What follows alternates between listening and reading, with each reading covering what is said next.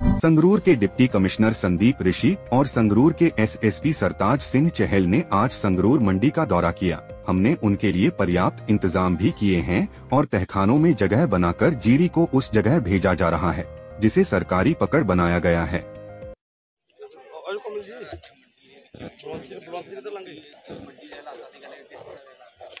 ਦੇਖੋ ਜਿਹੜੀ ਸੰਗਰੂਰ ਦੀ ਮੰਡੀ, ਜਿਹੜੀ ਮੇਨ ਸਿਟੀ ਦੀ ਮੰਡੀ ਹੈਗੀ ਹੈ, ਛੋਟੀ ਮੰਡੀ ਹੈਗੀ ਹੈ, ਇਹਦੇ ਵਿੱਚ 7.5 ਏਕੜ ਸਾਡੇ ਕੋਲ ਫੜ ਜਿਹੜੇ ਆ ਉਹ ਮੌਜੂਦ ਨੇ। ਇੱਥੇ ਮੇਜਰ ਤੌਰ ਤੇ ਜਿਹੜੀ ਆ ਬਾਸਮਤੀ ਦੀ ਫਸਲ ਆਉਂਦੀ ਹੈ ਸੰਗਰੂਰ ਦੇ ਵਿੱਚ। ਨਾਲ ਦੇ ਜ਼ਿਲ੍ਹਿਆਂ ਤੋਂ ਬਰਨਾਲਾ ਤੋਂ ਵੀ ਇੱਥੇ ਅਹ ਲੋਕੀ ਫਸਲ ਲੈ ਕੇ ਆਉਂਦੇ ਆ ਔਰ ਚੰਗੀ ਬਾਸਮਤੀ ਜਿਹੜੀ ਹੈ ਇੱਥੇ ਵਿਕਦੀ ਹੈ। ਨਾਲੋਂ ਨਾਲ ਲਿਫਟਿੰਗ ਜਿਹੜੀ ਆ ਬਾਸਮਤੀ ਦੀ ਨਾਲ ਚੱਲ ਰਹੀ ਹੈ। ਪੈਡੀ ਜਿਹੜੀ ਸਾਡੀ ਗ੍ਰੇਡ 1 ਪੈਡੀ ਹੈ, ਉਹ ਵੀ ਨਾਲੋਂ ਨਾਲ ਸਾਡੀ ਇੱਥੇ ਮੰਡੀ 'ਚ ਆ ਰਹੀ ਹੈ ਔਰ ਉਹਦੀ ਪਰਚੇਜ਼ ਰੈਗੂਲਰ ਹੋ ਰਹੀ ਹੈ। ਪੂਰੇ ਸੰਗਰੂਰ ਦੀ ਸਾਰੇ ਮਾਰਕੀਟ ਕਮੇਟੀਆਂ ਜਿਹੜੀਆਂ ਉਹਨਾਂ ਦੇ ਵਿੱਚ ਗ੍ਰੇਡ 1 ਪੈਡੀ ਜਿਹੜੀ ਹੈ, ਉਹਦੀ ਸਰਕਾਰ ਵੱਲੋਂ ਪ- ਜਿਹੜੀ ਪਰਚੇਜ਼ ਹੈ, ਔਰ ਮਿਨੀਮਮ ਸਪੋਰਟ ਪ੍ਰਾਈਸ 2320 ਰੁਪਏ ਸਾਡਾ ਮਿਨੀਮਮ ਸਪੋਰਟ ਪ੍ਰਾਈਸ ਆ, ਉਹ ਜਾਰੀ ਹੈ। ਅੱਜ ਮੈਂ ਤੇ ਐਸਐਸਪੀ ਸਾਹਿਬ ਦੋਵੇਂ ਅਸੀਂ ਮੰਡੀਆਂ 'ਚ ਇਸ ਕਰਕੇ ਨਿਕਲੇ ਅੱਜ। ਇਹੋ ਦੇਖਣ ਲਈ ਕਿਤੇ ਫਾਰਮਰ ਦੀ ਡਿਸਟ੍ਰੈਸ ਸੇਲ ਤਾਂ ਨਹੀਂ ਹੋ ਰਹੀ, ਕਿਉਂਕਿ ਸਾਡੇ ਜ਼ਿਲ੍ਹੇ ਵਿੱਚ ਵੈਸੇ ਇਹੋ ਜਿਹੀ ਕੋਈ ਪ੍ਰੋਬਲਮ ਕਦੀ ਨਹੀਂ ਆਈ।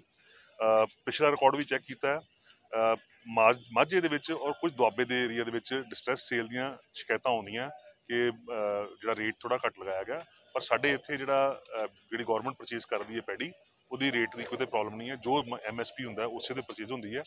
ਅਹ ਸ਼ੈਲਰ ਮਾਲਕ ਜਿਹੜੇ ਸਾਡੇ, ਉਹ ਵੀ ਸਾਡੇ ਨਾਲ ਬਹੁਤ ਸਾਰੇ ਸ਼ੈਲਰ ਮਾਲਕ ਜਿਹੜੇ ਨੇ, ਉਹ ਜੁੜ ਚੁੱਕੇ ਨੇ। ਸਾਡੇ ਨਾਲ ਐਗਰੀਮੈਂਟ ਵੀ ਹੋ ਗਏ ਨੇ। ਔਰ ਹਰ ਮੰਡੀ, ਇਸ ਵੇਲੇ ਅੱਜ ਜਿਵੇਂ ਕਵਾਂਗੇ ਸੰਗਰੂਰ ਦੇ ਵਿੱਚ, ਸ਼ੁਰੂ ਦੇ ਵਿੱਚ ਭਾਨੀ ਅਹ ਦੇ ਪਰਚੇਜ਼ ਦੇ ਵਿੱਚ ਥੋੜੀ ਪ੍ਰੋਬਲਮ ਆਈ ਸੀ ਸਾਡੀ। ਪਰ ਉੱਥੇ ਵੀ ਸ਼ੈਲਰ ਜਿਹੜੇ ਅਸੀਂ ਸੰਗਰੂਰ ਵਾਲੇ ਸ਼ੈਲਰ ਜਿਹੜੇ ਨੇ, ਉਹ ਅਸੀਂ ਨਾਲ ਜੋੜੇ ਨੇ। ਅੱਜ ਭਵਾਨੀਗੜ੍ਹ ਤੋਂ ਲਿਫਟਿੰਗ ਚੱਲ ਰਹੀ ਹੈ। ਸੁਨਾਮ ਤੋਂ ਲਿਫਟਿੰਗ ਚਾਲੂ ਹੋ ਗਈ ਹੈ। ਦਿੜਬਾ, ਲਹਿਰਾ ਮੂਣਕ ਖਨੌਰੀ ਧੂਰੀ ਇਹਨਾਂ ਸਾਰੀ ਮੰਡੀਆਂ ਦੇ ਵਿੱਚੋਂ ਜਿਹੜਾ ਹੈ ਲਿਫਟਿੰਗ ਅੱਜ ਚਾਲੂ ਹੋ ਗਈ ਹੈ। ਔਰ ਮੈਨੂੰ ਆਸ ਹੈ ਕਿ ਆਉਣ ਵਾਲੇ ਦਿਨਾਂ ਵਿੱਚ ਜਿਹੜੇ ਸ਼ੈਲਰ ਮਾਲਕ ਜਿਹੜੇ ਹੋਰ ਜਿਹੜੇ ਨਹੀਂ ਰਜਿਸਟਰ ਕਰਾ ਸਕੇ ਕਿਉਂਕਿ ਗਵਰਨਮੈਂਟ ਨੇ ਸ਼ੈਲਰ ਮਾਲਕਾਂ ਲਈ ਪੋਰਟਲ ਦੁਬਾਰਾ ਖੋਲਤਾ ਹੈ ਔਰ ਬਹੁਤ ਸਾਰੀਆਂ ਜਿਹੜੀਆਂ ਜਿਹਨੂੰ ਕਹਾਂਗੇ ਕਿ ਰਿਲੈਕਸੇਸ਼ਨਸ ਜਿਹੜੀਆਂ ਨੇ ਪੰਜਾਬ ਸਰਕਾਰ ਵੱਲੋਂ ਮਾਨਯੋਗ ਸਾਡੇ ਮੁੱਖ ਮੰਤਰੀ ਸਾਹਿਬ ਵੱਲੋਂ ਰਿਲੈਕਸੇਸ਼ਨਸ ਅਨਾਉਂਸ ਕੀਤੀਆਂ ਨੇ। ਉਹਨਾਂ ਅਨਾਉਂਸਮੈਂਟਸ ਦੇ ਕਰਕੇ ਸ਼ੈਲਰ ਮਾਲਕਾਂ ਦੇ ਮਨ ਦੇ ਵਿੱਚ ਵੀ ਜਿਹੜਾ ਕੌਨਫੀਡੈਂਸ ਜਿਹੜਾ ਹੈ ਉਹ ਵਧਿਆ ਹੈ ਔਰ ਉਹ ਸਾਡੇ ਕੋਲ ਰਜਿਸਟਰ ਕਰ ਰਹੇ ਨੇ। ਔਰ ਅੱਜ ਦੀ ਡੇਟ ਦੇ ਵਿੱਚ ਮੇਰੇ ਕੋਲ ਸੰਗਰੂਰ ਦੇ ਵਿੱਚ ਤਕਰੀਬਨ 250 ਸ਼ੈਲਰ ਮਾਲਕ ਜਿਹੜੇ ਨੇ, ਉਹ ਸਾਡੇ ਕੋਲ ਰਜਿਸਟਰ ਹੋ ਚੁੱਕੇ ਨੇ, ਜਿਨ੍ਹਾਂ ਵਿੱਚੋਂ 225 ਦੇ ਲਗਭਗ ਅਲੋਟਮੈਂਟ ਕੱਲ ਸ਼ਾਮ ਤੱਕ ਹੋ ਚੁੱਕੀਆਂ ਸੀ। ਔਰ ਅੱਜ ਦੀ ਡੇਟ ਦੇ ਵਿੱਚ ਮੇਰੇ ਕੋਲ 90 ਸ਼ੈਲਰ ਜਿਹੜੇ ਨੇ, ਜਿਨ੍ਹਾਂ ਦੇ ਵਿੱਚ ਸਾਡਾ ਮਾਲ ਜਿਹੜਾ ਹੈ, ਉਹ ਜਾਣਾ ਸ਼ੁਰੂ ਹੋ ਗਿਆ। ਹਰ ਸੈਂਟਰ ਜਿਹੜਾ ਉਹਨੂੰ ਲਿੰਕ ਕਰ ਦਿੱਤਾ ਹੋਇਆ। ਔਰ ਇਸੇ ਕਰਕੇ ਅੱਜ ਅਸੀਂ ਦੋਵੇਂ ਇਹ ਵੀ ਰਾਉਂਡ ਲੈ ਰਹੇ ਹਾਂ ਕਿ ਜਿਹੜੇ ਸਾਡੇ ਸ਼ਹਿਰਾਂ ਦੇ ਵਿੱਚ ਸਮਾਨ ਜਾ ਰਿਹਾ, ਮਲ- ਜਿਹੜਾ ਇੱਥੋਂ ਪੈੜੀ ਜਾ ਰਹੀ ਹੈ ਉਹਨਾਂ ਵਿੱਚ ਕੋਈ ਪ੍ਰੋਬਲਮ ਤਾਂ ਨਹੀਂ ਆ ਰਹੀ, ਉਹਦੇ ਬਾਰੇ ਵੀ ਅਸੀਂ ਗੱਲ ਕਰ ਲਈ ਇੱਥੇ। ਸੋ ਆਮ ਕਿਸਾਨ ਜਿਹੜੇ ਉਹਨਾਂ ਕੋਲ ਅਸੀਂ ਪੁੱਛਣ ਆਏ ਅੱਜ, ਕਿਸੇ ਦੀ ਜਿਹੜੀ ਜੀਰੀ ਹੈ ਜੋ 17 ਡਿਗਰੀ 17% ਮੋਇਸਚਰ ਤੋਂ ਘੱਟ ਮੋਇਸਚਰ ਹੈ ਔਰ ਇੱਥੇ ਪਈ ਹੈ, ਉਹਦੀ ਖਰੀਦ ਨਹੀਂ ਹੋ ਰਹੀ, ਉਸੇ ਲਈ ਵੀ ਅਸੀਂ ਪੁੱਛਣ ਲੱਜ ਲੋਕਾਂ ਕੋਲ ਜਾ ਰਹੇ ਹਾਂ।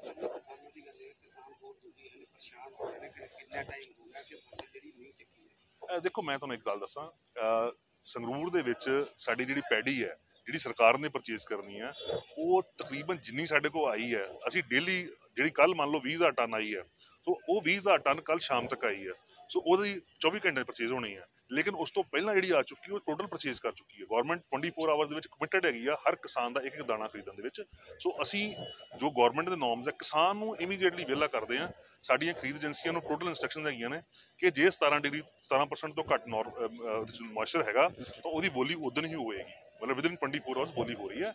ਕਿਸੇ ਵੀ ਥਾਂ ਤੋਂ ਕਿਸਾਨ ਮੈਨੂੰ, ਮੈਂ- ਕਿਉਂਕਿ ਮੈਂ ਵੀ ਮੰਡੀਆਂ 'ਚ ਘੁੰਮ ਕੇ ਦੇਖ ਰਿਹਾ, ਅੱਜ ਐਸਪੀ ਸਾਹਿਬ ਨਾਲ ਅਸੀਂ ਇਕੱਠੇ ਆ। ਤੇ ਲੇਕਿਨ ਕਿਤੇ ਵੀ ਸਾਨੂੰ ਇੱਕ ਕਿਸਾਨ ਨੇ ਆ ਕੇ ਨਹੀਂ ਕਿਹਾ ਕਿ ਮੇਰੀ ਸੁੱਕੀ ਜੀਰੀ ਹੈ ਔਰ ਇਹਨੂੰ ਪਰਚੇਜ਼ ਨਹੀਂ ਕੋਈ ਕਰ ਰਿਹਾ। ਸੁੱਕੀ ਜੀਰੀ ਦੀ ਪਰਚੇਜ਼ ਉਸ ਵੇਲੇ ਹੋ ਰਹੀ ਹੈ। ਦੋ ਤਿੰਨ ਕੱਲ ਸਾਨੂੰ ਮੁਸ਼ਕਲਾਂ ਆਈਆਂ ਸੀ, ਮੈਂ ਫਿਰ ਵੈਰੀਫਾਈ ਕੀਤੀਆਂ। ਸੁਨਾਮ ਦੇ ਲਾਗੇ ਮਹਿਲ ਮਹਿਲਾਂ ਪਿੰਡ ਹੈ ਜਿਹੜਾ, ਮਹਿਲਾਂ ਦੀ ਮੰਡੀ ਦੇ ਵਿੱਚ ਕੁਝ ਕਿਸਾਨ ਯੂਨੀਅਨ ਦੇ ਨੁਮਾਇੰਦੇ ਮੇਰੇ ਕੋਲ ਕੱਲ ਆਏ ਸੀ ਤੇ ਉਹਨਾਂ ਨੇ ਕਿਹਾ ਸਾਡੀ ਜੀਰੀ ਨੂੰ ਆਏ ਨੂੰ 7 ਦਿਨ ਹੋ ਗਏ ਆ। ਤਾਂ ਮੈਂ ਵੈਰੀਫਾਈ ਕਰਵਾਇਆ, ਉਹਨਾਂ ਦੀ ਮੋਇਸਚਰ ਜਿਹੜੀ ਸੀ 19 ਤੋਂ ਤਾਂ ਸੀ। ਸੋ ਕਈ ਵਾਰੀ ਜਿਹਨੂੰ ਕਹਿੰਦੇ ਮੋਇਸਚਰ ਗਲਤ ਹੋਣ ਕਰਕੇ ਵੀ ਮੰਡੀਆਂ ਦੇ ਵਿੱਚ ਜਿਹੜੀ ਏਜੰਸੀਆਂ ਜਾਂ ਆੜਤੀਆਂ ਨੂੰ ਪ੍ਰੈਸ਼ਰਾਈਜ਼ ਕਰਨ ਲਈ ਕਿਸਾਨ ਯੂਨੀਅਨ ਕਈ ਵਾਰੀ ਇੱਕ ਲਗਾ ਦਿੰਦੀ ਐਲੀਗੇਸ਼ਨ ਪਰ ਜਿੱਥੇ ਜੀਰੀ ਸੁੱਕੀ ਆਈ ਹੋਈ ਹੈ 17% ਤੋਂ ਮੈਂ ਇੱਕ ਦਿਨ ਪਹਿਲਾਂ ਵੀ ਇਸ ਮੰਡੀ 'ਚ ਆਇਆ ਸੀ 14-15% ਮੋਇਸਚਰ ਇਸੇ ਤਰੀਕੇ ਨਾਲ ਸੁਨਾਮ ਦੇ ਵਿੱਚ ਗਿਆ ਸੀ ਮੋਇਸਚਰ ਜਿਹੜਾ ਸੀ 14-15% ਨਿਕਲ ਰਿਹਾ। ਤੇ ਲੋਕੀ ਸੁੱਕੀ ਫਸਲ ਲੈ ਕੇ ਆ ਰਹੇ, ਜਿਹੜਾ ਸੁੱਕੀ ਫਸਲ ਲੈ ਕੇ ਆ ਰਿਹਾ, ਉਸੇ ਵੇਲੇ ਵਿਹਲਾ ਹੋ ਰਿਹਾ ਸਰ ਆਉਣ ਵਾਲੇ ਸਮੇਂ ਦੇ ਵਿੱਚ 17 ਮੋਚਰ ਦੀ ਜੀਰੀ ਬਹੁਤ ਘੱਟ ਹੈ ਰਹੀ ਸਰਕਾਰ ਇਸ ਬਾਰੇ ਕੀ ਉਪਰਾਲਾ ਕਰ ਰਹੀ ਹੈ ਦੇਖੋ ਅਸੀਂ ਪਹਿਲਾਂ ਹੀ ਮਾਰਕੀਟ ਕਮੇਟੀਆਂ ਥਰੂ ਔਰ ਮੀਡੀਆ ਥਰੂ ਔਰ ਸਾਡੇ ਜਿਹੜੇ ਫੀਲਡ ਦਾ ਸਟਾਫ ਹੈ ਖੇਤੀਬਾੜੀ ਡਿਪਾਰਟਮੈਂਟ ਦੇ ਵੀ ਸਟਾਫ ਵਾਲੇ ਆ ਮੈਂ ਔਰ ਐਸਐਸਪੀ ਸਾਹਿਬ ਤਕਰੀਬਨ ਅਸੀਂ ਅ, 25 ਪਿੰਡਾਂ ਦੇ ਵਿੱਚ ਖੁਦ ਆਪ ਗਏ ਆ ਕਿਸਾਨਾਂ ਨਾਲ ਗੱਲਬਾਤ ਕੀਤੀ ਆ ਜਦੋਂ ਅਸੀਂ ਪਰਾਲੀ ਦੇ ਸ- ਸਾੜਨ ਦੀ ਗੱਲ ਕੀਤੀ ਪਰਾਲੀ ਦੇ- ਨੂੰ ਨਾ ਸਾੜੋ ਉਦੋਂ ਵੀ ਅਸੀਂ ਲੋਕਾਂ ਨੂੰ ਇਹੋ ਐਡਵਾਈਸ ਕੀਤਾ ਔਰ ਮੇਰੇ ਅੱਜ ਵੀ ਅਫਸਰ ਜਿਹੜੇ ਨੇ ਸਾਡੇ ਡੀਐਸਪੀ ਸਮਾਨ ਐਸਡੀਐਮ ਸਮਾਨ ਜੁਆਇੰਟਲੀ ਟੂਰ ਕਰ ਰਹੇ ਨੇ ਐਸਐਚਓ ਸਮਾਨ ਔਰ ਤਹਿਸੀਲਦਾਰ ਸਮਾਨ ਜੁਆਇੰਟਲੀ ਫੀਲਡ ਜਾ ਰਹੇ ਨੇ ਲੋਕਾਂ ਨੂੰ ਅਵੇਅਰ ਕਰਨ ਦੇ ਲਈ ਉਦੋਂ ਵੀ ਇਹ ਗੱਲ ਅਸੀਂ ਕਰਦੇ ਹਾਂ ਕਿ ਆਪਣੀ ਜੀਰੀ ਜਿਹੜੀ ਹੈ ਉਹ ਸੁੱਕੀ ਲੈ ਕੇ ਆਓ ਤਾਂ ਕਿ ਕਿਸਾਨ ਨੂੰ ਅਹ, ਮੰਡੀ ਦੇ ਵਿੱਚ ਬੈਠਣਾ ਨਾ ਪਵੇ। ਅਸੀਂ ਇਸੇ ਕਰਕੇ ਕਹਿ ਰਹੇ ਜੀ ਦਿਨੇ ਦਿਨੇ ਕਟਾਓ ਦਿਨੇ ਕੱਟੋ ਸ਼ਾਮ ਨੂੰ ਨਾ ਕੱਟੋ। 130 ਐਫ ਆਈ ਆਰਸ ਹੋ ਚੁੱਕੀਆਂ ਨੇ। ਅਤੇ ਜਦੋਂ ਵੀ ਕੋਈ ਇਨਸੀਡੈਂਟ ਸਾਡੇ ਨੋਟਿਸ 'ਚ ਆਉਂਦਾ ਹੈਗਾ, ਉਸ ਤੇ ਹੋ ਰਿਹਾ ਡੀਸੀ ਸਾਹਿਬ, ਸਾਰਾ ਸਿਵਲ ਐਡਮਿਨਿਸਟ੍ਰੇਸ਼ਨ ਪੁਲਿਸ ਐਡਮਿਨਿਸਟ੍ਰੇਸ਼ਨ ਨਾਲ ਮਿਲ ਕੇ ਸਾਰੇ ਇਨਸੀਡੈਂਟਸ ਨੂੰ ਵੈਰੀਫਾਈ ਕਰ ਰਿਹਾ ਜੋ ਵੈਰੀਫਿਕੇਸ਼ਨ ਦੇ ਤਹਿਤ ਕਿਤੇ ਅਗ ਨਹੀਂ ਪਈ ਜਾਊਗੀ, ਤਾਂ ਉਹ ਵਾਲੀ ਕਾਰ, ਉਸ ਤੇ ਕੋਈ ਵੀ ਬੰਦੀ ਕਾਰਵਾਈ ਨਹੀਂ ਹੋਊਗੀ। ਤੇ ਦੂਸਰਾ ਅਸੀਂ ਇਹ ਵੀ ਕਵਾਂਗੇ ਕਿ ਡੀਸੀ ਸਾਹਿਬ ਨੇ ਜਿਵੇਂ ਦੱਸਿਆ ਕਿ ਅਸੀਂ 25 ਪਿੰਡਾਂ ਵਿੱਚ ਤਾਂ ਖੁਦ ਗਏ ਸੀਗੇ, ਅਸੀਂ ਹੋਰ ਵੀ ਜੁਆਇੰਟ ਟੂਰਿੰਗ ਬੜੀ ਕੀਤੀ ਹੈ।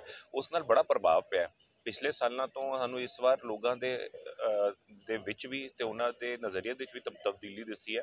ਉਹ ਜ਼ਿਆਦਾ ਬੇਲਰਸ ਦੇ ਕੋਲ ਜਾ ਰਹੇ ਹੈ, ਜ਼ਿਆਦਾ ਸੁਪਰ ਐਸਐਮਐਸ ਤੇ ਹੋਰ ਮਸ਼ੀਨਰੀ ਦਾ ਯੂਜ਼ ਕਰਕੇ ਜਿਹੜੀ ਬਿਜਾਈ ਹੈ, ਉਸ ਤੋਂ ਤੇ ਕਟਾਈ ਹੈ, ਉਸ ਦਾ ਐਜਾ ਉਹ ਬੈਲੈਂਸ ਬਣਾ ਰਹੇ ਹੈ ਕਿ ਜ਼ਿਆਦਾ ਉਹਨਾਂ ਨੂੰ ਪਰਾਲੀ ਸਾੜਨ ਵਾਲੇ ਪਾਸੇ ਜਾਣਾ ਹੀ ਨਾ ਪਵੇ।